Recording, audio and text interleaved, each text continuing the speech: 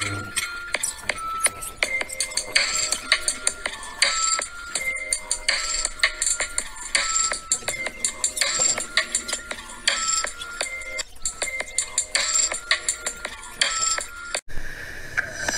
more educational resources, visit the Green Chalkboard store on TPT.